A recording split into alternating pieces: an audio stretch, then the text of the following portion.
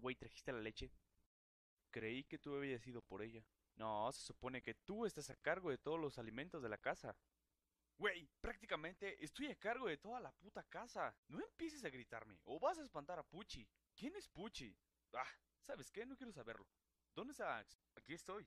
¿Dónde estabas? Fui a ver a Vale. En la casa de Vale. Axel, puta madre, estoy sangrando. No, no, no te preocupes. Eh, es normal en ti. Es, es el momento en el que te haces mujer. Ah, menos mal. ¿Y ahora está en el hospital? y tú decías que yo era tonto. Lo Sí, eres. Definitivamente. ¿Cómo sea? Axel, ¿traes la leche? ¿Qué no se supone que Ed se encarga de los alimentos? Te lo dije. No mamen, ya estoy harto. Desde mañana se me van a buscar un puto trabajo. Que quede claro que esto es tu culpa.